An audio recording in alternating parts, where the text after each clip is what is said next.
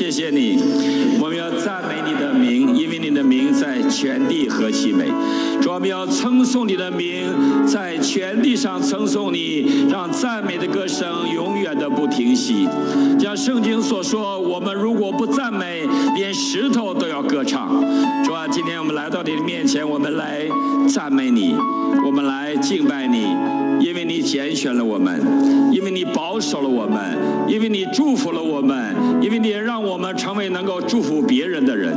现在主，我们来到你的面前，我们知道你的宝座就在我们中间，让我们也带着我们生活的重担来到你的面前，把我们一切的忧愁、恐惧、不安、一切的难处，我们都交给你，因为你应许说，犯劳苦担重担的来到你的面前，你就使我们得以安息。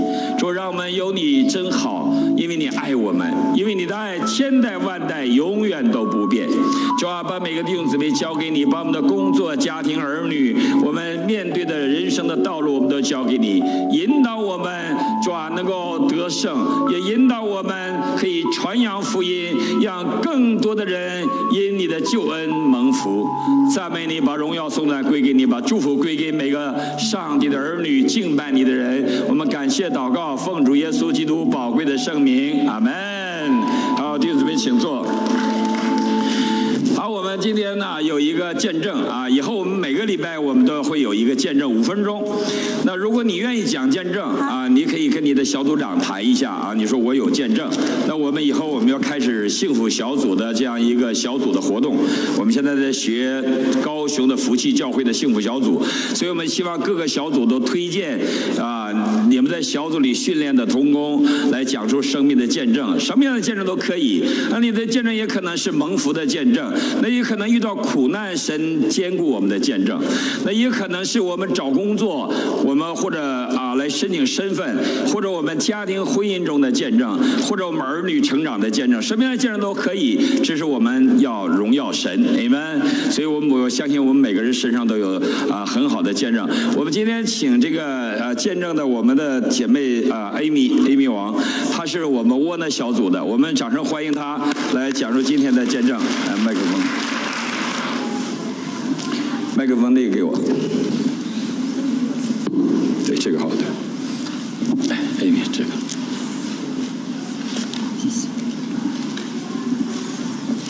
呃，弟兄姐妹们，啊、大家上午好，我是来自窝纳团契的 Amy。我今天分享的那个见证就是从苦难到医治释放。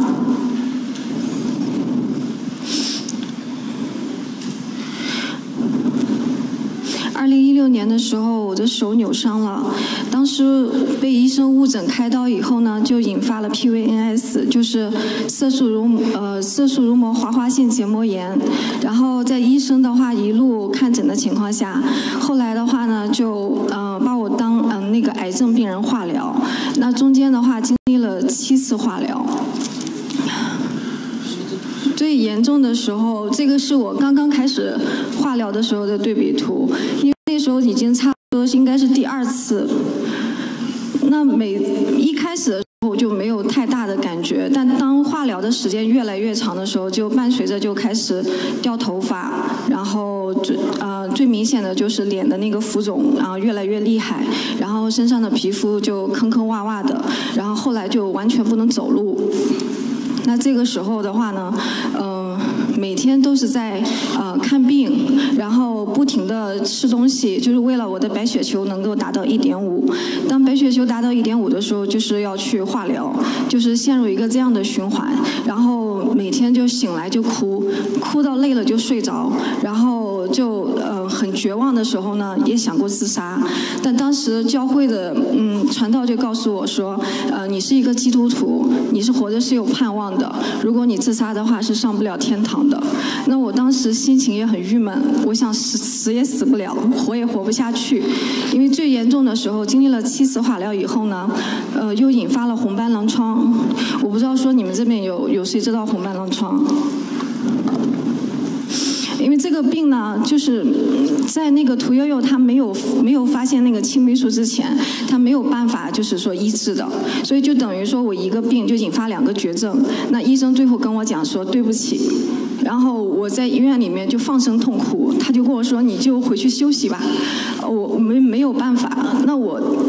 当我回到家的时候，我就在想说，那医生都不管我了，我还能有什么盼望？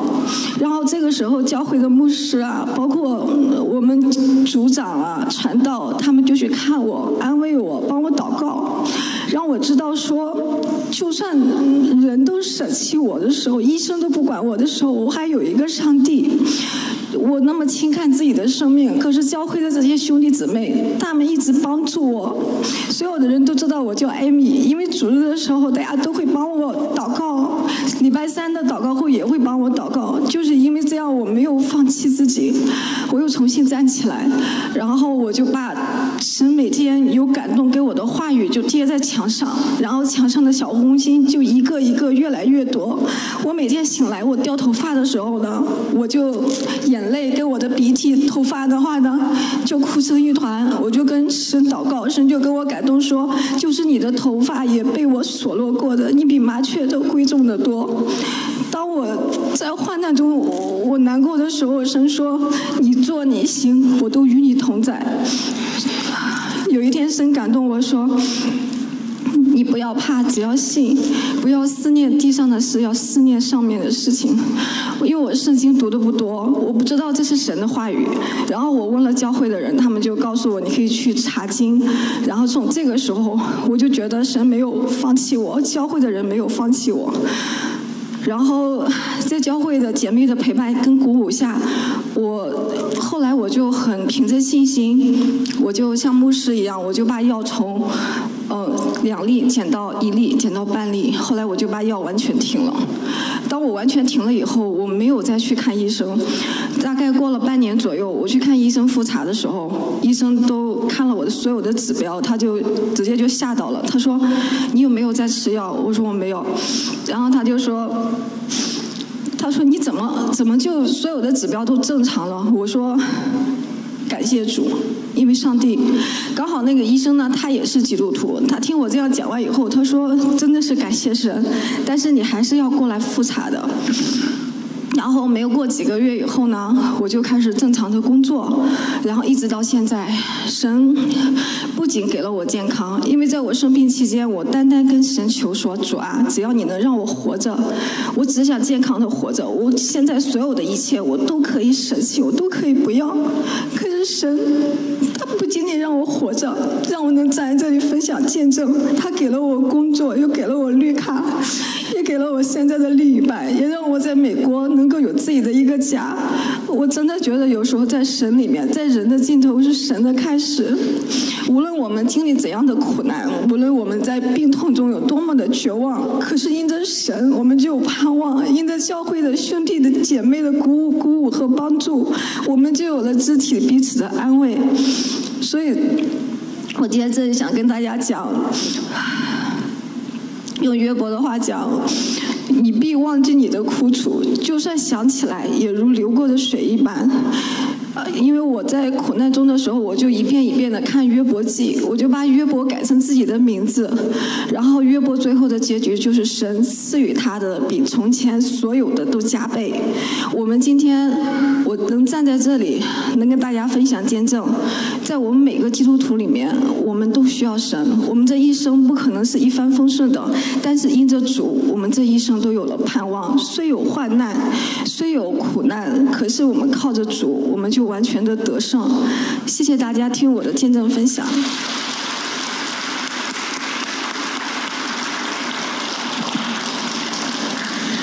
好，来我们给祷告，我们继续为他祷，大家一起来为他祷告。天父，我们谢谢你，Amy 是你爱的，你所拣选的孩子，是吧？你是天上的父，你是他永远的阿爸父，是吧？让他遇到难处，他投靠你，是吧？投靠你的，你说都不羞愧，是吧？我们谢谢你医治了他，我们知道你会继续完全的医治他，主要让他在那爱里边得到全然的医治，也得到生命的成长，是吧？让他的生命的见证。能够祝福很多苦难中的人，听我们的祷告，奉主耶稣基督宝贵的名，阿门。谢谢艾米啊，请坐。我们刚才听了小 Amy 的见证，我是见过小 Amy 最美丽的时候，我也见过她最丑的时候。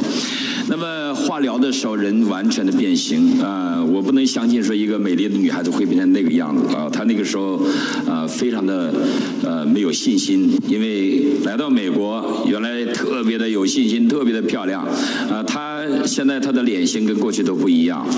人有的时候啊，生病是我们不能预料的苦难，呃，当这个苦难来临的时候，人是站立不住的。他那个时候绿卡啊也没有批，然后呢进入到化疗，化疗完了，这个化疗的效果特别不好啊，很多人化疗有效果，他一点没有效果，而且越化疗越惨，后来还得了红斑狼疮。那当时很爱他的一个男孩子，信誓旦旦要娶她的男孩子，撒腿就跑了，呃，挺大个儿，也挺壮，我见过啊，也不见了。那天我问他，他说不见了，啊，我说感谢主，上帝为你预备最好的，啊，所以那上帝为他预备最好。来，请起立一下，来来来，杰森来站这吧，啊，现在杰森啊，男朋友看啊，比原来的还高啊，比原来那个瘦一点，比原来那帅啊，我觉得上帝给的真的是最好的，好嘞路亚，感谢主。所以一个人经历苦难的时候，他投靠哪里呢？因为父母在上海嘛，在家里，他老叫我老爸啊。我知道他那个叫爸的意思，就是他希望有一个家，希望有一个长者的爱啊，一个祷告。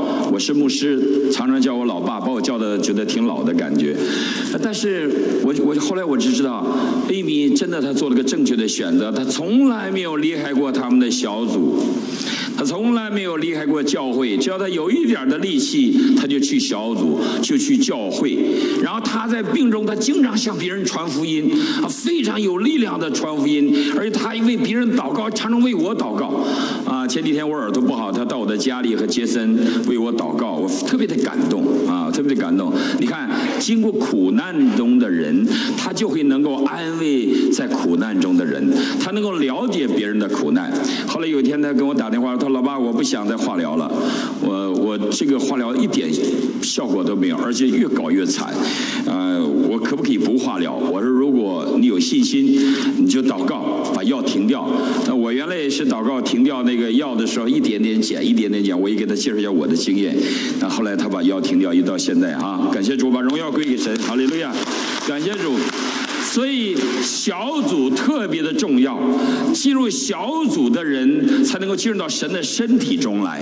教会特别的重要，所以圣经说，教会是基督的身体，是充满万有者所充满的。所以当我们来到教会，我们来到教会，我们发现我们在海外，尤其我们海外这些移民，我们特别的孤独，对不对？我们来到海外，我们亲人都不在嘛，啊，我们的朋友都不在，我们遇到问题，我们找谁呢？啊，我们找谁呢？有的时候。你遇到一些小问题，找人会有人帮忙，没有错，亲朋好友、老乡、同事都可以帮忙。但是当我们遇到大问题的时候，谁能帮助我们呢？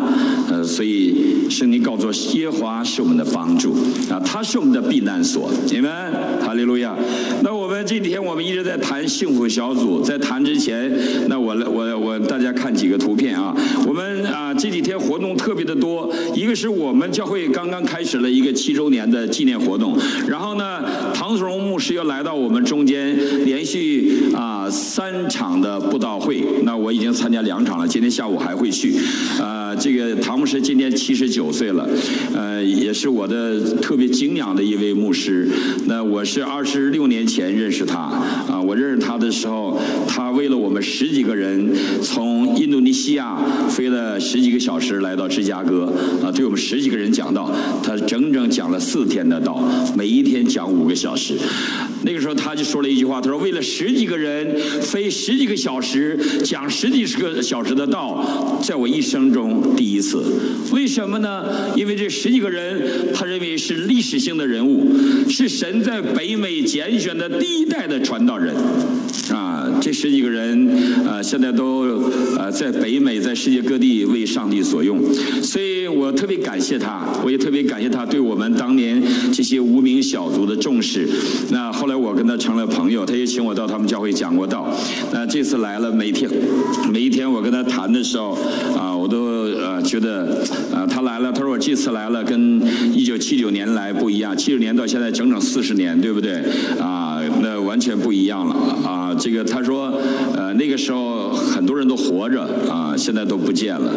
那我相信唐牧师也跟我们讲，他可能洛杉矶也是他人生中最后一次的来了。他来过美国一百四十次，啊，以后年龄越来越大啊，也飞不动了啊，来到美国也不容易啊。唐牧师几乎是到这个年龄了，他飞到哪儿还是坐经济舱。这个人特别的节俭，节俭的吓人，你知道吧？我跟他曾经有几次在一起住，住在一个房间，啊，我记得在台北教师啊，台北的那叫啊呃叫呃台北那个呃呃那个车站那叫什么什么啊啊这个一个一个很普通的旅馆，就是接待宣教士的一个旅馆，在台北车站的对面。那我我住在那儿，他也住在那儿，我们有一段有一段时间我们住在一个房间，啊，我们三个人住在一个房间。他进了房间，他说：“呃，柏林，你住哪个床啊？”我当然挑边啊，朝窗子的，对吧？我就赶紧这这这我的，我一放这还有个沙发。然后那个那个弟兄也不客气，一下子住在另外一边上去了。他就在中间，你知道大家选择床谁都不愿住在中间嘛，对不对？他没办法住中间。哎呀，他说我住在中间很好，为什么？因为你们都是我的学生，一边一个。所以早上起来了，头天晚上别人送了些包子，早上起来没有早餐吃，他让我吃的凉包子，我是不吃啊。我说我出去买去，有咖啡啊，有油条，我干嘛吃包子？你这剩包子，他在屋里吃了三个包子，说你买别买我的份儿，我都已经吃完包子了。我们坐一个飞机啊，坐一飞机坐经济舱，我们坐的都是经济舱。我们从台北到印度尼西亚，他带我到他们教会讲道，坐在飞机上啊，我就看到这个老仆人生活如此简朴。啊，如此简朴。昨天他讲见让大家听，他出生的一个很富足的家庭，所以他能够成为那么多人的祝福，所以很感恩。所以昨天我问了他一句啊，我说唐牧师，你服侍主六十三年，有没有一刻、一秒钟，哪管一秒钟，你后悔过？当你被别人批评，当你被别人谩骂，当被别人误解，你有没有觉得委屈？我是不是跟好像我讲过，传道人不是人干的活儿？我讲过这种软弱的话。我跟他问，他说我一分钟一秒钟都没有过，六十三年服侍主无怨无悔，这个真的是我们年轻传道人需要学习的，很感恩，很感恩，所以啊，感谢主，所以我啊，让我为他祷告，讲到完了，我去上台啊，跟他握手的时候，我发现他手都在抖啊，两个小时讲两个小时，将近八十岁的人连续的讲，连续的讲，啊，我不知道。一般我顶多是一个小时我就结束，然后就讲一个小时。啊，他两个小时，我当我拉住他手，发现他手都在抖，我就为他祷告，求神给他力量。今天下午四点钟还有啊，弟兄姊妹可以去啊参与。如果去的话，各个小组尽量卡因为停车位非常的难找。呃，昨天晚上两千五百人座无虚席，满满的听他讲一生的见证，讲不完的，真的讲不完。我就觉得他的一生有太多的上帝给。他的丰富，很感恩，很感恩。所以呢，我们今天我们把这照片看完吧，看这几张照片，往下走一走。哎，这这都是我拍的啊，这我拍，那个是王悦拍的，对吧？我我那是王悦拍的，这个都是有版权的啊，我的没版权，王悦有版权。来 来往下看，再往下还有还有图片吗？然后呢，我昨天上午呢又去参加了我们啊正道神学院的三十周年大庆啊，三十周年，三十周年，请问。三十周年是哪一年成立的正道神学院？一九八九年啊，因为天门事件，北美的台福教会，他们觉得大量的中国人逃到美国，他们应该建立一个神学院，来训练更多的神国工人来牧养他们。所以呢，后来就建立了这个正道神学院啊，那个是叫台福啊，英文是 Logos 啊，Logos Evangelical Seminary。我是那里边的啊，我是九七年进校的，我是毕业的时候是第十届毕业生，比较早啊，现现在都已经三十。杨瑞牧师。也是那里毕业的。呃，这个神学院到现在已经培养出上千位的牧者啊牧师。那现在还有四百位的教牧学博士在那里边读啊，感谢主。所以这个变成北美最大的、最正规的一个华人神学院。所以回到母校，发现发现母校花了一千多万、一千五百多万在整理、在装修啊，做的非常的美啊。我就跟那些老师同学说：“哎呀，我们在那时候好艰苦啊，你们现在条件太好了啊，这个你们就在这享福吧，我们是享不着了。”后来老师们说：“你可以再回来接着念呐。”所以这个永远学不完的，感谢主。那我们当我们今天讲到这个幸福小组的时候，我们知道高雄这个福气的教会，啊，他们推动了这个幸福小组的工作。我上个礼拜讲了，上礼拜我讲了我们怎么样成为一个幸福的人。因为幸福是对上帝的给我们的赐福的一种感知，所以上帝我们的福气从哪里来？从神而来，从众光之父而来，从创造天地的宇宙万物的耶华而来。那我们的福气从他而来，我们要感知我们是幸福的人，对不对？那幸福也是形容词啊，形容我们来感知上帝的祝福，也是名词。所以当我们来看到这个幸福的时候，我们。才知道，一个有家的人是幸福的，对不对？对你旁边说，有家人幸福的。哎，一个有教会的人，我认为也是幸福的。一个有小组人，像 Amy 今天的见证，他是幸福的。在他最困难的时候，小组的 Rose 啊，Jack，还有很多的 Ann，很多的众弟兄姊妹，每一天祷告、扶持、探望、兼顾。你知道人呐，会软弱的。人有的时候那一瞬间那一个软弱，有的时候是致命的。有的时候人自杀的人就那一瞬间，你知道吗？他那一瞬间感到没有盼望，啊，他突然就不行了。他就有的时候人这个是这个负面的情绪来的是很吓人的。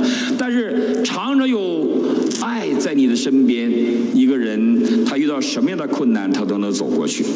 一个人就怕人生没有爱了，没有爱了他就失望了。所以神的爱永远在我们生命中，但是你要感知你被爱，你们，很重要。你感知你幸福。所以那天我听了那个寇绍恩牧师的讲道，他说幸福小组他们的幸福小组一个小组搞聚会就请来两百多个人来参加，两百多个人来喝咖啡茶会啊。然后呢，两百多个人呢，他说等到进入到幸福小组就二十个人，百分之他说那。很好了，很好了啊！都是唱歌，大家都不懂，唱什么这个伊玛内利，那我们就唱高山青啊！他们敢唱高山青，如果我们在美国就要唱高山青，可能会被人批评，知道吗？但是他们没有问题，为了福音的缘故，为那些慕道的朋友啊，让他们来认识我们是一群幸福的人，用我们生命的见证啊，然后用神的话语，用爱，不要。不使人家，不要逼人，人家信耶稣，让人看到我们是幸福的人，人们才信耶稣。像圣经所说的，我们传扬他，要用诸般的智慧劝诫个人，然后教导个人，要把个人在基督里边完完全全的带到上帝的面前。这是我们幸福小组的一个策略。所以我们从明天开始开始幸福小组。所以牧师现在今年好像下半年讲到都要跟幸福有关系。所以你要做。幸福的人吗？那你就来到教会听幸福的信息，明白？你要你要听咒诅的信息，你天天就成为咒诅的人啊！你要听幸福的信息，你就会成为幸福的人，明白？所以，当我们成为幸福的人的时候，我们才能够影响别人成为幸福的人。当你要把幸福传递出去的时候，弟兄姊妹，是你人生幸福的开始。一个人什么怎么样能成为幸福呢？就是能够使别人成为。幸福。如果别人不能成为幸福的人，我们就不能成为幸福。因为幸福是感染的，幸福是传递的，对不对？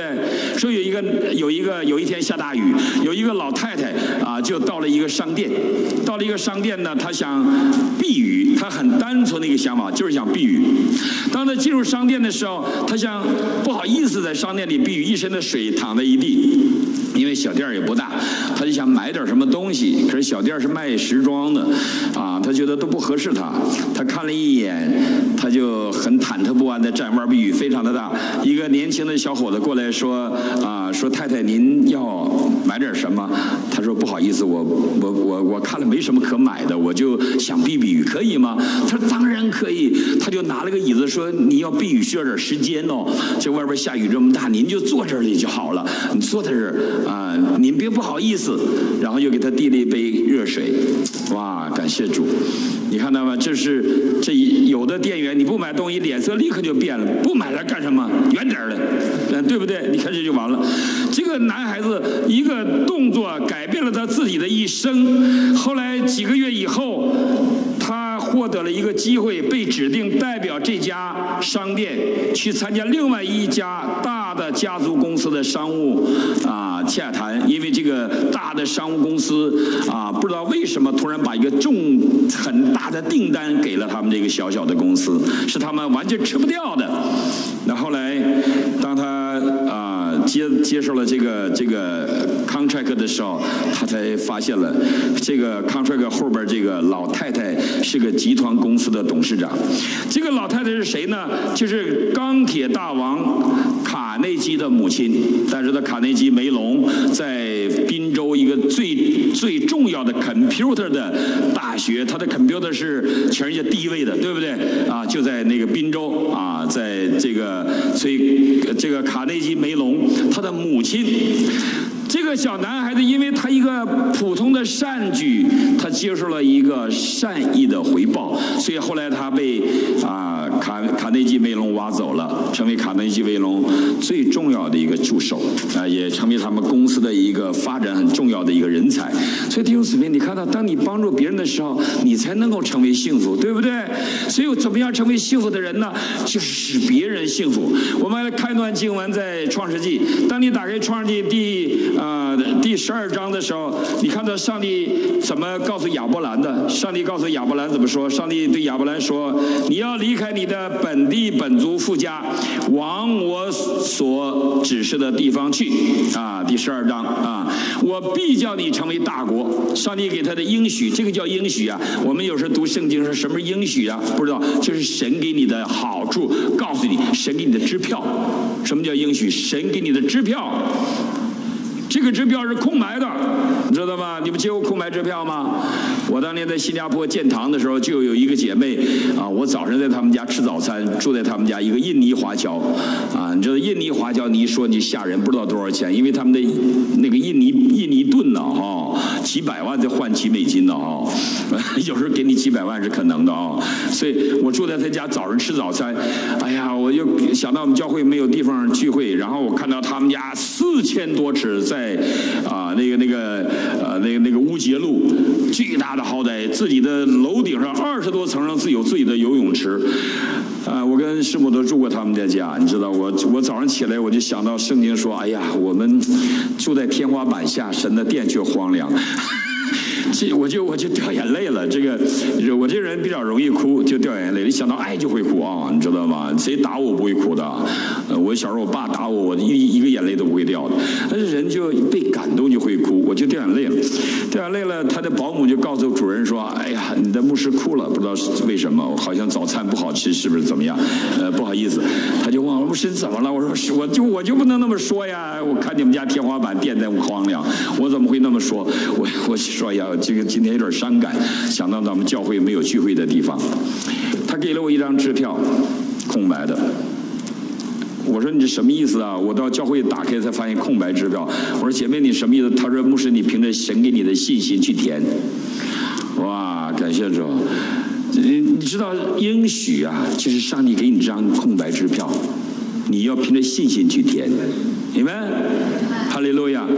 你一生中，上帝给你前面的道路就是应许。上帝应许亚伯拉罕，我要让你成为大国。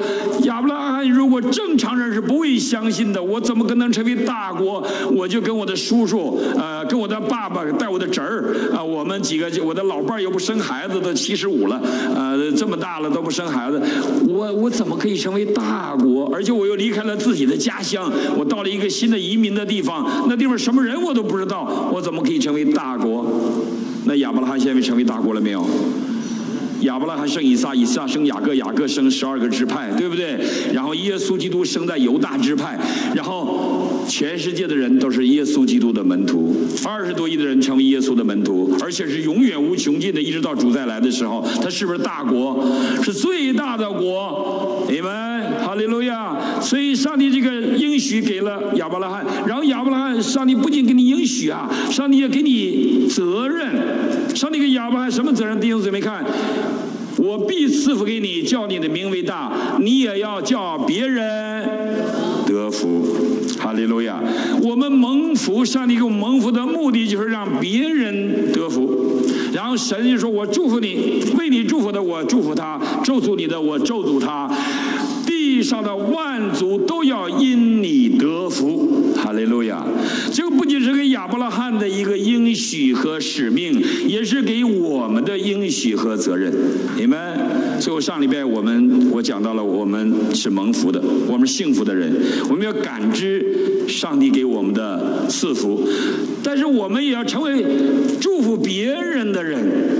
因为助别人难不难呢？哎，当然你有钱，你可以帮助一些穷人，你设立基金会。可是没有钱能不能帮助人呢？当然可以，你没有钱也可以帮助人。像刚才那个小男孩他没有花一分钱，他就帮助一个老太太，他就得到了善报。所以上帝说，我们要预备行各样的善事。你们基督徒要做善事，基督徒不是为了做善事来证明我们是基督徒。徒，基督徒是因为信了耶稣基督，做善事，他自然的生命的流露，啊，是我们很自然的一个生命的随意的举动，就是做善事，啊，就是做善事。感谢主，所以我们为什么要做幸福小组呢？就是让教会成为传福音的人，每个人都成为传福音的教会，成为传福音的教会。我常常想，耶稣基督来的第一个使命是什么呢？马太福音啊，第九章，耶稣走遍各城各乡，在会堂里教训人，宣讲天国的福音，这是他第一个使命。耶稣来了，就是要传扬使命。我们看一段经文，在我前边啊，在我们看这个呃这个路加福音，耶稣来了，就是让被掳的得以释放，被压迫的得自由。我们看路加福音，我们来看啊第四章十六到。二十一节，我们看这段经文。这段经文很特别啊，这段经文非常的特别。路加福音的第啊四章，耶稣来到拿撒勒，就是他生长的地方。在安息日啊，他来到了啊会堂，站起来要念圣经。有人把先知以赛的书交给他，他就打开找入一处写着说：“主的灵在我的身上啊，因为他用高高我。”叫我传福音给贫穷的人，差遣被掳的得以释放，被啊差遣我报告被掳的要得释放，瞎眼的要得看见，叫那受压制的得自由，报告神悦纳人的喜年。我们把第十八节、第九节，我们一起来读一遍好吗？一起十八节，一起来，主的灵在。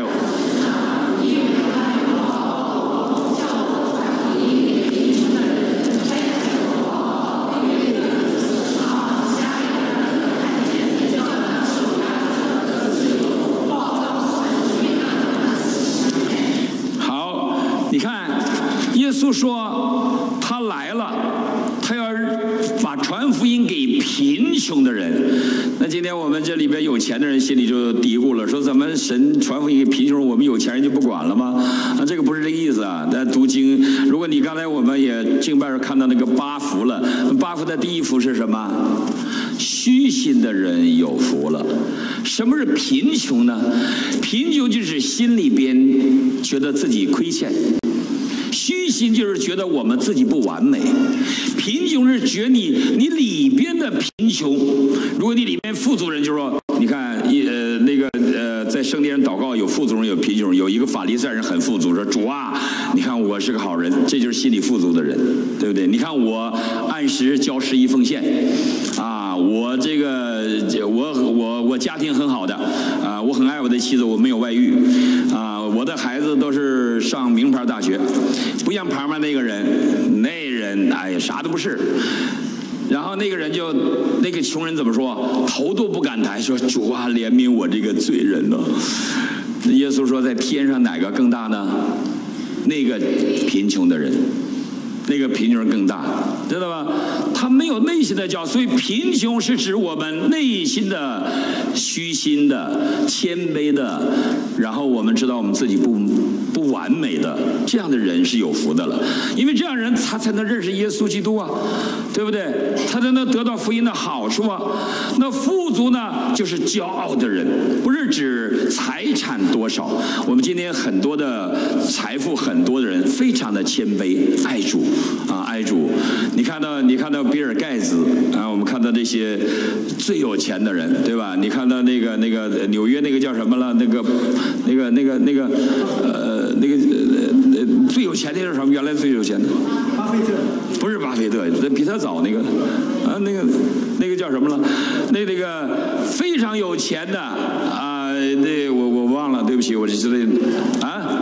对对对，洛克菲勒，洛克菲勒，你知道吗？那有钱有到什么程度？当时美国他是首富啊，他把他的四分之一奉献给上帝，后来就一半奉献给上帝，到他晚年的时候百分之八十奉献给上帝。知道他有一次得了一个病，什么都不能吃，就能吃饼干。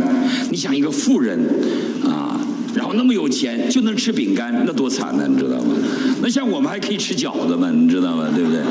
然后呢，他就说：“主啊，如果我能吃别的，我就把我的财产一半都奉献给你。”啊，后来他就成立了洛克菲勒基金会。这个基金会帮助了多少穷人？艾滋病的、非洲的那些穷人，他花大量的钱帮助他们在医疗各个方面。他也帮助文化事业。我记得我有一次，我那时候在纽约担任《中国之春》的总编辑，没有钱，我也四处写这个写这个 proposal 去申请经费嘛。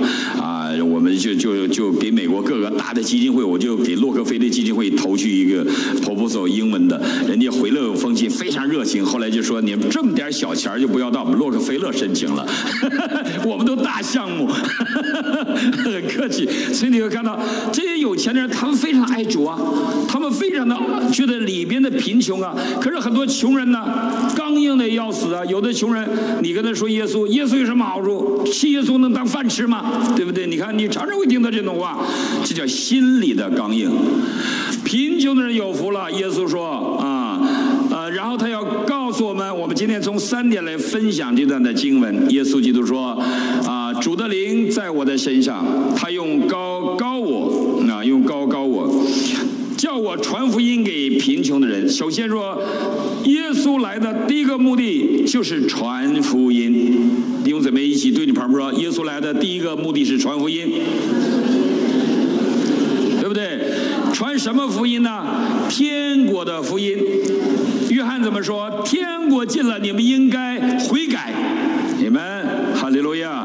所以最近我我准备在我的那个这个 YouTube 上，我我最近准备啊回答一些神学问题，比如悔改的问题、重生的问题，是先悔改后重生，还是先重生后悔改？很多很多的疑问，弟兄姊妹有的时候在神学上没有去思考的问题，我们可能做牧者的有责任来回答他们。我觉得唐牧师给我们做了榜样，唐牧师特别愿意回答问题啊。昨天他回答问题，不过他回答问题特别长啊，一个问题其实两分钟就 OK 了，一分钟也 OK，他一回答就一个。小时，啊家伙，昨天回答一个半小时，本来说一个小时啊，回答一个半，我我数了四个问题，他回答了一个半小时，对不对？当然这些问题你回答十个小时也可以的，但是我们要了解很多要我们要了解这个，所以我们看到耶稣在这里他讲了的三点：被掳的得以释放，瞎眼的可以看见。被压着的得以自由，哎呀，这是我最喜欢的话。我觉得这个就是福音的根本啊，福音的根本。耶稣来传福音，那么后来保罗把福音在格林多前书告诉我们说，我们所传的福音是什么呢？第一就是主耶稣基督按照圣经所说为我们的罪死了，这个是福音呐。嗯，然后又圣经所说，第三天复活了。弟兄姊妹，我们所传的福音就是耶稣基督。那耶稣基督来告诉我们说，天国的福音的特性有三个层次啊，三个字。第一个是被掳的得以释放。什么是被掳的？如果你你打过仗，那打过仗你就知道什么叫被掳的，对不对？打仗有一种人叫俘虏，就被别人俘虏了。俘虏还有自由吗？没有自由。那我看过那个那个呃二战的片子，那些呃美国兵被日本人俘虏了。那在那个里边，哇，那就被那个日本人往死的打，对不对？让他干嘛他就得干嘛。我记得有一个故事，我有一个电影，我看着就特别的感动。一个铁锹丢了，那那日本日本那个那个那个呃呃那个军官就说，哪个人偷的？赶紧承认，不承认我全给你们杀了。啊，结果后来就有一个人承认了，他他就打死了两个人。有一个军官说是我偷的，他就把那个军官打死了，打死了。后来第二天他们发现那个铁锹是。在原地啊，没有数到，没有丢铁锹。那为什么那个那个军官会会做这样决定？因为他又不承认他其他的啊这个同事战友都会被打死，所以他承认了。你看啊这个俘虏是没有权利、没有自由的。那圣经里讲这个被掳的是什么意思呢？我今天讲被掳的可能有三点啊。第一点，我们是被罪俘虏的啊，所以圣经里面会讲到这个罪。所以，当我们向慕道友讲时，我们要讲清楚，我们是罪人。这中国大陆弟兄姊妹呢，尤其不能听这句话。你要说你是罪人啊？我常常说，哎呀，我们都是罪人。那个人看着我说，我又没有通缉令，我什么罪人？你才罪人呢！啊，他我是罪人啊！你看我有通缉令，他觉得我是罪人，他觉得没有通缉令，他就是好人，你知道吗？圣经所说这个罪人，不是有没有通缉令，不是有没有被判刑，当然判刑一定是有罪啊。什么叫罪人呢？罪就是没有达到神的要求，啊，罪就是像希腊文射箭没有射中靶心，那罪呢就是不完美。所以圣经说，人人都犯了罪，亏缺了上帝的荣耀。什么叫亏缺？就是不完美嘛。这一张纸，这是这是一张很好的纸，完美，这个就亏缺了嘛。你看这张纸就亏缺了。罪就是你的产品不合格，你要出厂的时候不能出厂。有一种叫产品检验员，但是产品过来一看不合格的，啪扔到后边去，然后其他的哇哇的那个那个那个输送带输出去的时候，有专门检查干这个，对不对？不合格扔过去，他不看你哪儿不合格，只要不合格。所以，不管你什么罪，你亏缺了上帝的荣耀就是罪。那上帝又给我们什么样的一种期待呢？他创造人给我们公义，人没有公义就是罪。他给我们爱，人没有爱就是罪。那他给我们良知，人没有良心，没有良知就是罪。当人遇到的人不去怜悯，就是罪；该帮助人没有去帮助，就是罪。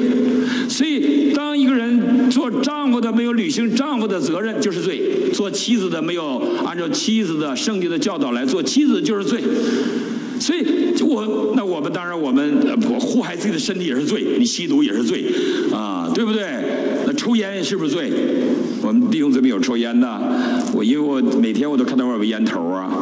那我礼拜二来了上班，我会把外边那几个两个那那个烟头我收拾起来，我怕弟兄姊妹看见说，你看这教会这么多人抽烟，当然不一定我们教美国教会很多人抽烟的，你知道吗？他是不是罪？啊，当然不一定。马丁路德就抽烟，你知道，而且还抽烟斗，还喝啤酒，德国人，传道人怎么可以这样呢？是不是罪？但是当他出现一件什么样的事情，他是罪呢？就是这个东西成了他的捆绑，就是罪了。你偶尔吸上大麻也不算什么罪，但你天天吸就是罪。我原来抽烟，我抽了二十多年烟哦，十六岁抽烟，你知道吧？因为抽烟表示自己成熟长大了。我可以跟别人交换烟卷了，你知道吗？这个感觉是不一样的啊！因为看大人都交换烟卷，我们小孩儿，当我们一起跟别人交换烟卷，觉得我们长大了，那种一种宣告大了，你知道吗？所以我就把我我爹是不抽烟的，我妈抽烟，我把我妈的烟都偷出来，我就抽，哎抽。我后来就抽到什么程度？我写作不抽烟，我是写不出来的啊！后来信了主了，来了美国，我把烟戒了。我那在芝加哥，我怎么戒掉的？我告诉你。我去这个这个这个啊传福音，我向人传福音，啊我们那时候我们那小组有五个抽烟的人，传福音就特别热情，啊我们专向传福音抽烟的人传福音。结果有一天，我有个朋友，我们小组的团契的。我要戒烟，因为我呃牧师林牧中牧师让我说那天要对一些新朋友讲讲见证，他说他就临走时他就没看着我，他就随便说句话说用完我的麦克风不要让我闻到烟味儿啊！哎呦，他知道我抽烟，我以为他不知道，因为抽完烟我得刷牙呀、嚼茶叶，我想很多方法。哎，他知道，他说你不要让我的麦克风有烟味儿，而且他他是开玩笑说的，他为了怕不伤我的自尊心，你看这牧师特别好，你知道吗？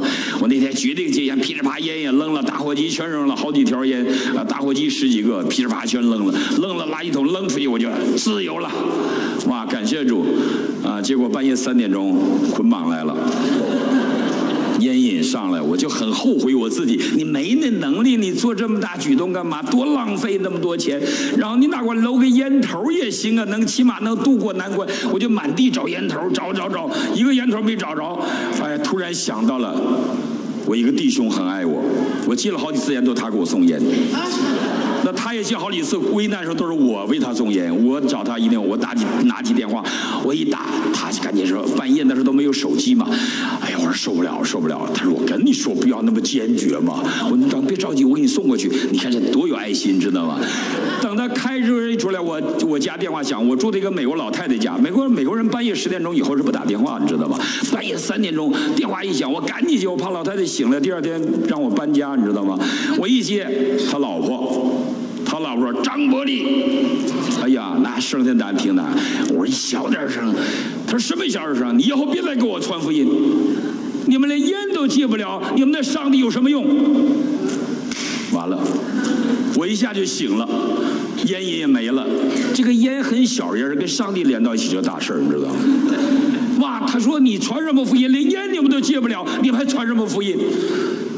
哇，这个女人说话太狠毒了，你知道吗？但我能理解，因为外边下大雪，他担心先生开车半夜出事儿，似的大雪这压力很大。他先生把烟带到我那儿，给我一包烟，拿一根说赶紧赶紧暖和暖和，抽烟就暖和暖和。我说你赶紧回家吧，你老婆来电话了。他说是骂你了吧？我说是啊。他说别着急，咱们总有机会会找回来的，你知道吧？哇，这这就这够哥们对不对？我赶紧走了，烟给我放这儿。那包烟两年我没有抽，因为我懂了一个道理。我就想，我我是神学生哦，我一天不读圣经，我会不会难受？不会的，你知道吗？我一天不祷告，难不难受？没事儿的，我一个礼拜不聚会也没有关系的。可是我一天不抽烟，我就不行了。我发现那个烟在我的生命中超过了上帝的位置，它就是罪，你们。我就这么戒掉的，我告诉你，我就从此就戒了。我就每天看着那个烟，我就需要圣灵来帮助我。我知道我肉体胜不过他，但神会得胜。那包烟一直到我搬离芝加哥，我才把它丢掉。它一直放在我的茶几上。有人来了会抽烟时，刚要拿，我说别动，那也不能抽。那我看见他戒烟，那我告诉你，你看到没有？所以弟兄姊妹，当你了解任何的事情超过上帝在你生命的位置，它就是罪，就错了。什么是罪？这就是罪嘛！所以我们不要做罪的奴仆。所以耶呃，保罗在里呃，耶稣在这里，在约翰福音第八章三十四节，我实实在在的告诉你，所有犯罪的，就是罪的奴仆。说的多好啊！我就是烟的奴隶，他让我干嘛我就得干嘛，对不对？那我们做罪的奴仆，就是没有自由吗？就是被捆绑吗？所以神让被掳的得以释放，就是让我们在罪中的人得到自由，得到自由。我们想得到自由，我们靠我们自己的礼仪、律法、教育、理性都是没有用的。我们必须靠圣灵来充满我们。所以，那这个罪是从哪里来的呢？从亚当来的。保罗说：“罪因为一人进了世界，啊，所以因为他来的。有些弟兄姊妹在我跟他谈福音的时候，他说：‘哎呀，这个罪，这个不，这个没道理。一人犯罪应该一人当啊，那亚当犯罪这个亚当当，跟我有什么关系？’哎呀，这个你要想到说，因为亚当是人类的始祖啊，人类的始祖，所以他犯了罪，整个人类都犯了罪。就像一杯水一污染，就全污染了。就这个道理。所以我们知道，当我们看到说一个著名的新约学者叫呃布鲁斯啊布鲁斯，他所说，对于保罗来说，亚当不单是历史上的个体的第一人，亚当正如他的希伯来文名字的意思一样，亚当是什么希伯来什么意思呢？是人类。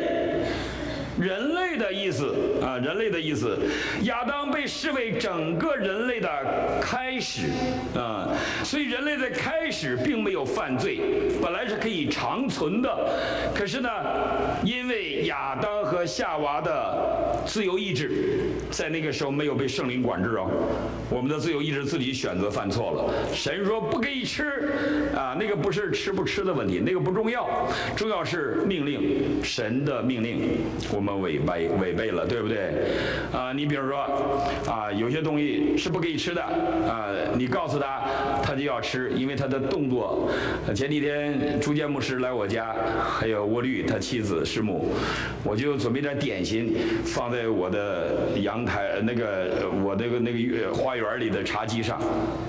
啊，沏好了茶，呃，我就告诉我们家狗不许吃，这是我们吃的，你知道吧？啊，然后我就上面照了个照，它就没吃，我就我就带他们参观我们的院子啊屋子，然后又上网又给它 password 上网，啊，弄完了一看那狗没吃，我说你看这狗比人都厉害，说不吃就不吃。然后我们就打开了，我们就吃了一点，吃了一点，我们又什么时候又进屋了？一出来，糟糕，全吃光了。我说刚表扬完你，你说你就不能给你爸长点脸？你这狗爹就太没面子了。刚表扬完你，他在那很无辜的样子，因为他的本性嘛，对不对？你因为他你打开了，他觉得可以了，啊，我。咱们一家人嘛，你都吃了，我就可以吃，这已经不错了。就刚开始他放个罩，他就没吃，你打开他就吃了，吃。然后沃利过来说：“哎呦，你们都吃干，没给我留一点。”我说：“怎么是我吃干净的？我们家狗吃干净的。”所以你看他，这个罪就是一样的哈。所以我们看到说，你比如说我们在中国，我们那个呃地主的孩子，当年地富房，你生下来就是地主的孩子，你有什么办法呢？对不对？你有什么办法？除非有一有一次的叫什么改革啊，对不对？你才能够有自由，否则你就是地主的孩子，没有办法的。嗯，所以当我们当一个人犯罪，啊，全人类跟他承担这个责任的时候，我们知道上帝是怜悯人类的，所以上帝预备了耶稣基督的福音，耶稣道成肉身来到我们中间，就是为了让我们得以释放，对不对？就让我们从罪的捆绑中得以释放。啊，第二点，我们要在负面的情绪中得以释放。人类常常有负面的情绪的影响，在人生中我们遇到很多的难处。我们看几个负面，这么多的负面情绪，你看忧愁啊、恐惧啊、嫉妒啊、恼恨呐、啊怒气呀、恶毒啊、苦毒啊、愤怒啊、高傲啊、憎恨呐、失望啊、憎憎恶，这个都是圣经里讲的一些负面的情绪。那你请请问这些负面的情绪，呃，好不好？不好。那么怎么得释放？耶稣来了才能得释放。耶稣说：“我来了是让被掳的得以释放。”所以我们要了解这些负面的情绪，我们要面对这些负面的情绪，因为这些负面的情绪，说实话会影响我们人生的质量。我常常我上礼拜讲，我们人生是不一样的。我们信耶稣的人，虽然生命七十岁、八十岁，我们活的质量不一样。那没有信耶稣的人呢？他完全活在世界里边。你你知道他们。没有盼望，他没有什么盼望，就是今天他得到什么物质的好处，他还是没有盼望。物质的好处你也没有什么，呃，就是质量嘛？你你有多少房子，你不就住一间吗？对不对？呃，你有多大的屋子，你不就一张床吗？那天我在网上看到这个有一段话讲的很有意思，我读给大家说：有人说，出生一张纸，开始一辈子；文凭一张纸，奋斗一辈子；婚姻一张纸，折磨一辈子。现在没结婚的高兴了，说：你看，你看，哈，对吧？我就聪明，就不折磨啊。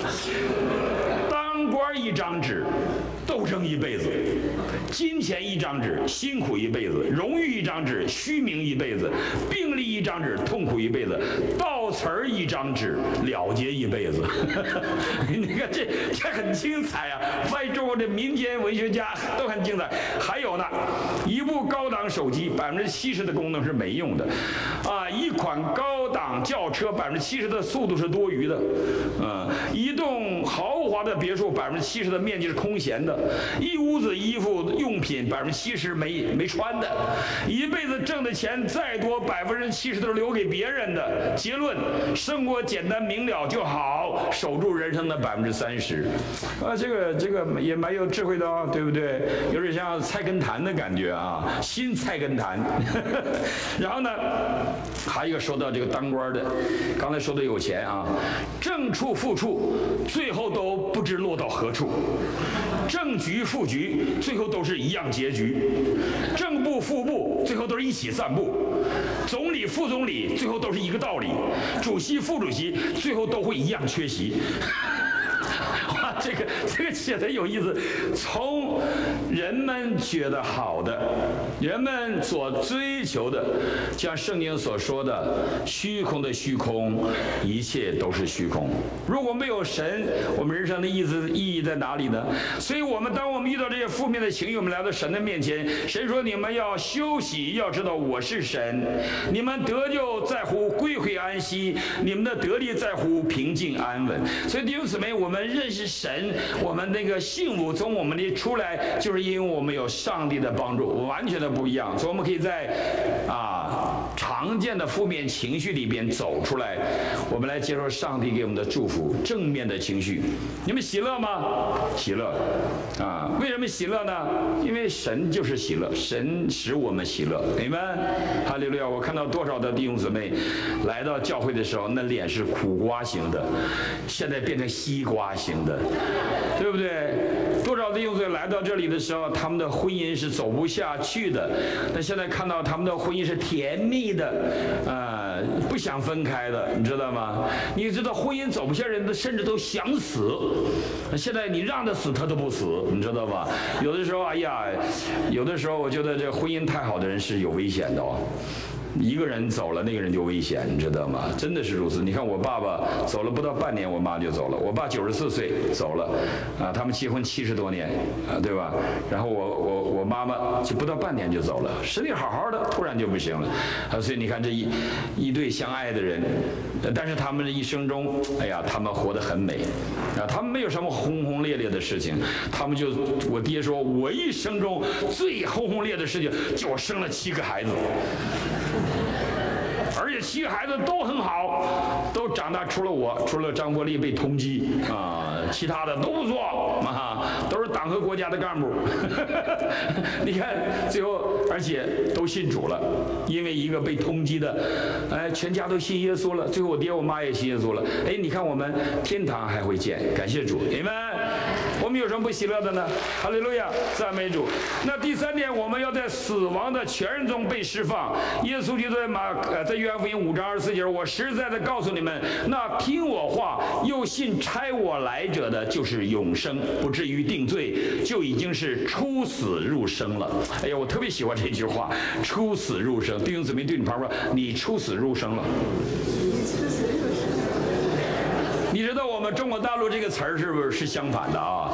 我们中国大陆有句词儿叫“那些革命烈士都出生入死了”，哎，这也是事实的写照。我们小时候都想学习革命烈士出生入死，为共产主义奋斗终生，对不对？出生入死是一个咒诅的词儿。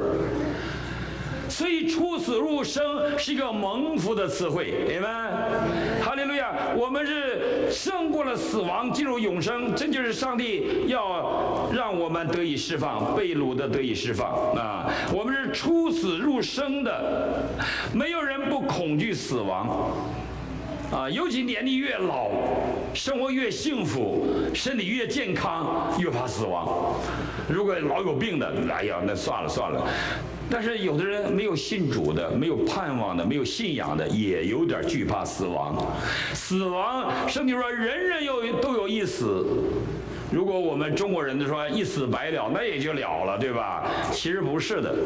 圣经说人人都有一死，死后还有审判，没有一死百了那一说。就像亚当犯了罪，众人都在罪中一样，没有说一人犯罪一人当的事儿。人类就是这样子的，那没有一人躲过死亡。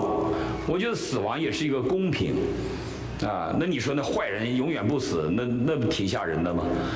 那希特勒不死，那不吓死人了；毛泽东不死，那不吓死人了吗？对不对？那老搞文化大革命不就是吗？对不对？该死他就得死，到时候死是公平的，死是不会收获命令，死对好人对坏人一样的，像太阳照好人也照歹人一样，公平，啊，公平。但是死了。我们这几天啊，唐牧师讲什么的？王月咱们听了哈。唐牧师讲这个这个呃存在、存在和永恒，对吧？我们身体是存在的，是存在的一种载体表现。我们人认识一个人是通过他的身体，可是身体代表人吗？身体不代表人，那里边那个灵魂代表人，那个是我。这个外边是我的载体，是我的表现方式。对不对？这个不是我，它不是全是我，真正的我在我的里边。那当我外边这个表达方式走了，那我人还存在，还存不存在？存在。这个就是你的灵魂，这是永存的。即使你不信耶稣也是永存的。那就在地狱里边，在孤独的里边，在黑暗的里边，哀哭切齿。但你信了耶稣基督，你是在神的身边，在天堂里边，在永活里边，在永在里边，在神的同在里边。那这个很重要。所以为什么说耶稣来让我们从死亡的权势下得以释放？没有人可以胜过死亡，唯有耶稣基督，他胜过了死亡，因为他从死里复活了。信他的人也。也一样和他复活，你们对你旁边说，信他的人一样和他复活。对旁边人说一下，感谢主，阿利路亚。我们信他的人一样和他复活啊。所以罗马书啊第五章十二节说，那死又是从罪来的，于是死就临到众人，因为众人都犯了罪。但是呢，当我们信靠了耶稣基督，我们罪得赦免啊，耶稣为。我们承担了罪，耶稣在十字架上赦免了我们的罪，他为我们死，我们就不死了。啊，这个特很特别的一个比喻。呃，我有一个朋友张朗朗。哎呀，他我们俩在普林斯顿大学，我们俩住的 roommate，呃，他这个一一进我的屋，他是个作家，他爸爸叫张汀，三点水加一个丁，是中国工艺美术学院的院长，延安时期的，他就是属于那个叫做啊一呃马背上的摇篮，是不是有一个马背摇篮一批人呢？呃，就是那帮呃共产党的高级干部的孩子，呃，打仗的时候就放在马背上，有有一个幼儿园，他就那个幼儿园的啊。跟郭沫若的儿子他们都在一起，他就因为十四五岁就老说呃党的不好，就给判了死刑。十五岁死刑，你知道吗？因为他学法语，就就被打成一个法外国的特务组织，法国的特务组织。他学法语，然后郭沫若的儿子就给枪毙了，他就死刑没等枪毙呢。他爸爸还是很勇敢的，就找到了周恩来，啊，周恩来就看到当年的旧情，就写了一个纸条，啊，就写了刀下留人。周恩来，那么这个谢富治公安部长拿到这个这个纸条也不敢执行，但是也不敢取消，因为江青要毙了他，他也不敢取消他，所以就死刑一直扣在脑袋上，所以这个叫斩监候。他写了一篇文章叫斩监候，他斩监候怎么做什么？他就是每一次枪毙人的时候，他陪绑。第一次说，明天你要枪毙你了，还给他一一顿红烧肉，俩馒头，吃饱了，小孩十五岁，他说吓都尿了，你知道吗？到那儿了，往那旁边墙那一批人就呱呱呱响枪，他就尿了拉了一身，然后结果他活着陪绑，你知道吗？他那时候才发现，哎呀，哎呀，这活着真好啊。然后呢，慢慢慢慢，他也习惯这种游戏。就老盼着枪毙，因为枪毙有红烧肉吃嘛，所以就监狱没什么好吃的，就等着枪毙。现在他也后来他也不害怕，反正也不是我死，我是陪躺的。所以你看到这个，一个人死了还能复活吗？不不能，人是不能的，对不对？耶稣死里复活了，你看到，所以我信耶稣啊。那么多的基督教的理论、神学观念，最吸引我的就是死里复活，就从死亡的全能得释放。因为我八九年我在那么年轻，我就要被抓，抓住说不定就枪毙了，对不对？我就想我怎么会死呢？我这么年轻，不会死嘛，对不对？后来别人告诉我信耶稣得永生，啊，信耶稣是不死了，而且三年以后就复活，那也没听太明白，你知道吗？我当时就听太好了，他把我枪毙了，我三年以后复活了，我就回北。大我坐在我同学后边，他们一回头我就吓死他们，你知道吗？复活了，你看感觉，哎呀，那个就成了我逃亡两年中最大的喜乐，你知道吗？我一想可以复活，弟兄姊妹，你想我，可能你觉得很遥远，但如果你要不信不相信你会复活，你的信仰是没有意义的。你的信仰是没有力量的，所以你看，耶稣说：“那实在告诉你们，听我话，信差我来的，就有永生，不至于定罪，已经出死入生了。”耶稣来不是要定我们的罪，耶稣来让我们在他的恩典中得永生。你们，哈利路亚，在他的救恩里面有份。耶稣来是让救我们，救我们脱离死亡，而不是定我们的罪。所以弟兄姊妹，让我们认识罪。但是主不定我们的罪，可是我们知道我们是罪人，我们需要他的医治啊。好，我们快点，第三，我们讲第二点，第二点啊，肉体瞎眼的看见，肉体的疾病得医治。当耶稣来世上，我们又肉体的疾病得医治。在马可福音第十章讲了一个巴迪买的故事。这个瞎子生来就瞎眼，他找到耶稣，啊，找到耶稣，他说：“这个这个大卫的子孙，啊，耶稣啊，求你来救我。”耶稣说：“你要什么？”他说：“我要看见。”啊，然后耶稣就说：“你去吧，你的信救了你了。”瞎子立刻看见，就在路上跟随了耶稣。这是我们知道圣经讲的这个眼睛的看见，上帝医治我们身体的疾病，他知道我们人类的苦痛。我相信他会医治。我昨天就特别感动。我昨天我觉得我三十周年就没有白去。我去了以后就被刘院长抓住，刘副理院长就抓住我，抓住我们俩就聊聊聊。然后我就我就说你说啥呢？嗯，他说怎么搞的？我你这耳朵听不见。我说我这耳朵 zero 零，这耳朵三分之一。他什么都没说，他没问我为什么，他就说来来来来，我为你祷告。他就拉着我的手，我要为你抹油祷告。你看我们的老师多有爱心啊！然后苏文龙牧师、刘福礼牧师、刘福礼牧师的师母三个人就一起为我祷告。刘牧师就给我祷告，祷告完了，他就在我额头上抹这个十字架，用油抹完了，他为我祷告。他说：“我要四十天为你祷告。”哎呀，我特别感动。你看这样的老师，会跟你一辈子，爱你一辈子。遇到那种软弱，我都没好意思给我自己四十天祷告。想你祷告祷告，想你没关系了，反正听不见也好，听不见心就清净了，你知道吗？后来他也说，说不定上帝让你不太听一些声音。哇！我说是啊，感谢主，我这耳朵能听见听神的声音，这耳朵不听人的声音。哈利路亚！所以，我们有盼望，怕什么呢？对不对？我们能听见神的声音就 OK 了，因为神的声音，天地都会废去，神的话永远的长存。所以世界谣言也好，批评也好，论断也好，不听也罢，对不对？我们只听神的声音，我们不就喜乐了吗？你们感谢主，对你旁边听神的声音。阿利路亚，赞美主，我们要听神的声音。那我们知道这个瞎眼的看见，也讲到了啊。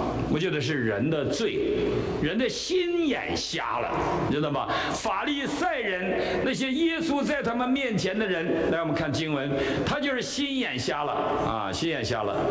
所以我们感谢主，我们看到说，这有些的人是法利赛人，耶稣说：“我为审判这个事来，叫不能看见的可以看见，能看见的反瞎了眼。”这个叫。啊，台儿港反核论，或者或者说怎么说？台湾翻译的吊诡啊，这个这个词儿挺奇怪啊。但是我们知道说这是一个意思说你要得得着生命的，反失去生命；你要丧失生命的，反得着生命。那我们今天看到耶稣基督是最软弱的被钉的十字架，一句话都没有讲，他却胜过了死亡。那这就是我们信仰的核心，很重要的啊，我们要了解。所以耶稣说，怎么说？我为审判这事来，叫不能看见可以看见，能看见反瞎了眼。然后呢，那些法利赛人怎么说？同他在那里的法利赛人听见这话就说：难道我们也瞎了眼吗？那些宗教领袖，那些熟悉圣经的人。他们说：“难道我瞎了眼？”耶稣对他们说：“你们若瞎了眼，就没有罪了。但如今你们说我们能看见，所以你们的罪还在。”啊！每当我唱到江牛顿说：“啊，前我失丧，今被寻回，瞎眼今得看见”，我就懂了。人的眼瞎，不能认识神。被油蒙了心，被 pass 遮到了我们心的眼睛，看不到耶稣，看不到神的爱，看不到神的救恩，是比那个肉眼还瞎的人还可怜。因为肉眼的瞎，他只要信了耶稣，他还得永生。那这些呢，他们与神隔绝。所以弟兄姊妹，所以我们要看到说，耶稣来让瞎眼的得以看见。第三点，受压制的得以自由啊，受压制的得以自由。嗯，我我特别能够懂得自由的含义，弟兄姊妹，我觉得很多人可能不太了解什么是自由，因为我曾经为了自由失去过两年的自由。我曾经坐过牢，坐牢的人是没有自由的，坐牢会有自由吗？啊，没有的，对不对？啊，我在苏联坐牢，我坐呃苏联红军的牢，啊，那后来我从中国我又逃到了香港，所以现在在香港，当香港出现这种战争运动的时候，啊，去中运动，去中这。这个法法案运动的时候，我特别能了解香港人的想法，因为香港这个地方就是一个逃城，从历史到现在。香港最早只有六千多人，后来来了一批人，这批人是什么人？是太平天国被镇压以后逃过去的。洪秀全三个儿子都逃到了香港，当时三个儿子是被分封王，三个王都逃到了香港。后来有一个是卖鱼虾的，后来有一个做了餐馆，后来有一个做了洪门帮，你知道洪门帮也是从他们家的后代起来的。然后呢，香港又出了什么人呢？香港就啊，清朝的时候，啊，康有为、梁启超，啊，光绪皇帝变法失败，大量的人，除了谭嗣同不逃，其他人像他们都逃到了香港。然后呢，抗日战争的时候，啊，又有一批中国的文人。啊，那些不管是国民党的、共产党的一些有才华，为了保护他们，这是咱们国家的啊国家的人才，就把他们都送到了香港，他们在香港生存下去。然后呢，我们知道香港又有一批的逃亡的人，啊，一九四九年，国民党退守台湾，很多人不愿意去台湾，就留在了香港。我认识的香港一个啊最大的慈善家叫蒋震，啊，这个他就是。呃，逃到了本来可以去台湾，他不去，他就留在香港，后来成了商人，啊，这个就是这是在我们教会受洗的，啊，现在已经九十多岁了，我每次去他都一定要呃请我吃饭。有一次我回我回美国到机场，他坐着车九十二岁九十一岁，把我送到机场，妈说牧师我要送你去机场。亿万富翁，那几百亿，这老年人，啊，每一年捐一栋楼。香港大学、中文大学四处都有讲证的楼，你知道吗？啊，这样一个谦卑的人，哎呀，信了耶稣，非常的好，感谢主。所以你看到后来呢，就是六二年以后，大批的灾民逃到了香港，那么多人逃到香港。当他们逃到香港以后，这一批人，你知道，英国政府是不能接受的，香港人都把家打开。偷偷的藏自己的同胞，不让他们回去。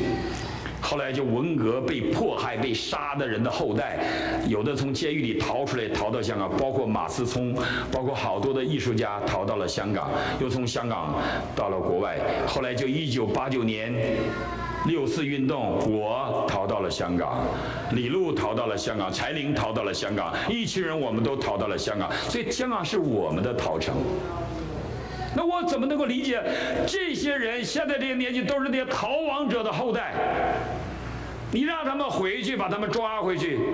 那如果追讨过去的罪的话，他可以把他们的父母都带回去。你们逃出去的，我我可以根据这个法令把你们抓回来，你知道吗？所以有一个老年人死的时候，告诉孩子，把我的骨灰都不要吹到那边去。这个是自由的地方，我非常能了解了解这一代的年轻人的追求和想法。所以，当我逃到香港的时候，惶惶如丧家之犬。帮我忙的有黑社会，你知道那黑社会的头在深圳见我，我没有钱，他朝我他们定价，我的价码五十三万港币，一九九一年，那个时候一万元户都了不得，他让我付五十三万的港币，我哪有钱？后来他来见了我一面吃饭。我记得那还是在广东的流花宾馆，我逃到那，我我们有一个包间，就我们两个人吃饭，一大桌菜，我都不好意思。他说你吃吧，这都你的钱付的，我已经付了两万块钱了，你知道吧？您吃吧。吃完，他就说我救你。为什么救我呢？他没有什么目的，就是我要救你。他说：“李鹏抓人，我管不着，人家是总理；我救人，他也管不着，这是我的自由。你看会有这样的人，我就问他：哎呀，怎么走啊？那海那么大，这个这个，我们的船会不会翻呢？他说：海那么大，船那么小，怎么会翻呢？哲学家。三十年、二十八年过去了，我一想到那个年轻人。”我的恩人对我说：“海那么大，船那么小，怎么会翻呢？”我都会流泪。神那么大，我们那么小，我们在他的怀中，能不安全吗？你们，我逃到香港。香港的警察来见我，我逃到美国大使馆见我非常客气，因为他不敢惹我，我在美国大使馆呢，对吧？那很多人也就逃到美国，也是个逃城。美国这国家是欧洲宗教改革那些被逼迫的人的逃城，明白？上帝设立逃城，你看到没有？他让那些走投无路的人有一线希望。那弟兄姊妹，你们看这段经文啊，从陶城，我我就我今天讲陶城，圣经里有四卷书谈到陶城，我今天用了约书亚记啊，这个这个弥书记也有啊，利未记也有。我们看到啊，这个陶城，耶和华小谕约书亚说：“你吩咐以色列人说，你们要照着我借摩西所小谕你们的，为自己设立陶城。”上帝的总是给人留活路的，对不对？那有的人是赶尽杀绝的，希特勒是赶尽杀绝的，毛泽东是赶尽杀绝的。但是上帝给人留活路啊！我们看到哈，然后呢，再往下走，这经文再往下走，设立什么样逃城呢？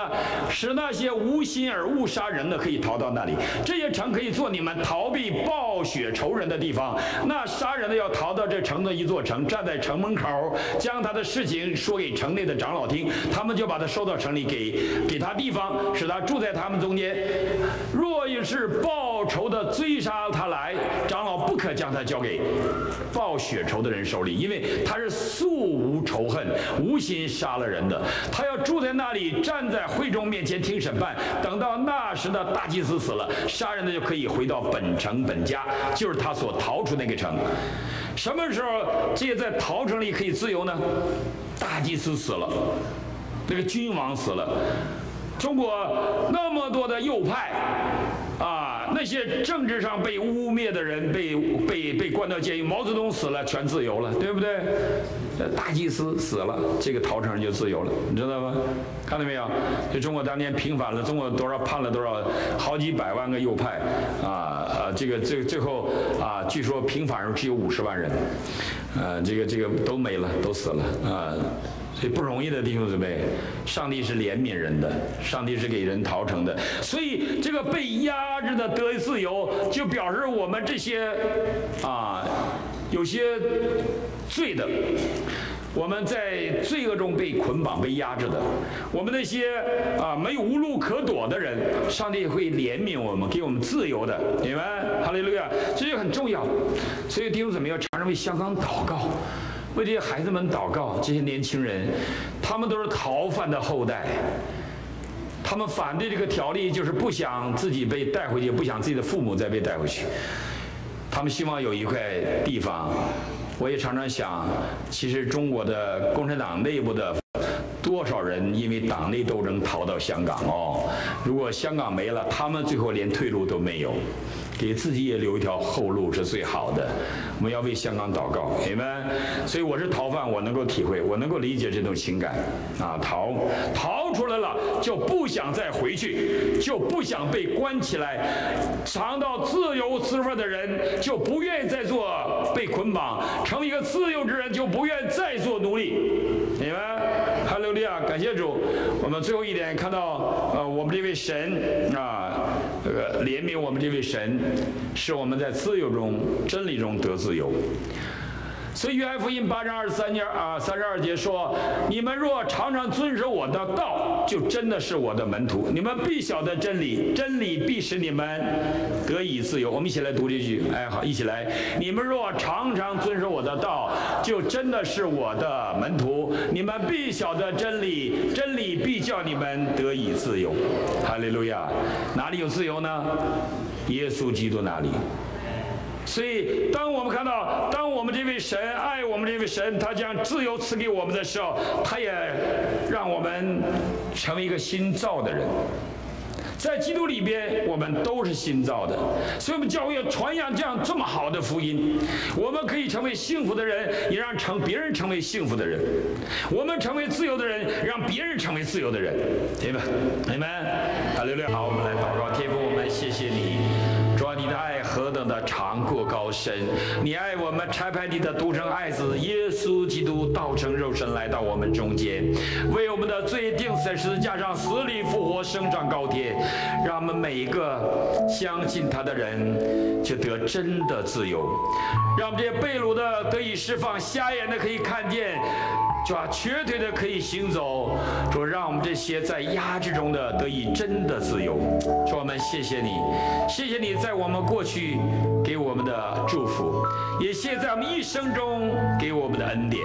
祝福我们每位弟兄姊妹，有疾病的求你来医治，软弱的让我们刚强，寻找工作的办身份的主都在旷野里为我们开道路。主啊，在你没有难成的事，因为你爱我们，就像爱小 A。一样，你医治了他，你也会医治我们每个人。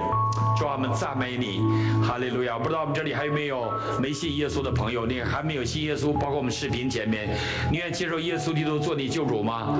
如果你愿意举手为你祷告，有没有这样的朋友愿意接受耶稣基督做你的救主？举手为你祷告，哈利路亚！赞美主。如果你都是基督徒，你说主啊，我知道今天我认识到我的身份，我要传扬福音，做一个幸福的人，也使别人蒙福的人。你也举手为你祷告，哈利路亚，赞美主。主啊，求你来祝福他们。当他们的手举起来的时候，就是信心的表达。主啊，让他们在信心里边经历你的同在，主啊，经历你的医治，经历你的恩典。赞美你，哈利路亚，把荣耀颂赞归给你，奉主耶稣的名祷告你们。好，弟兄姊妹，请坐，跟旁边人握握手，说让我们成为祝福别人的人。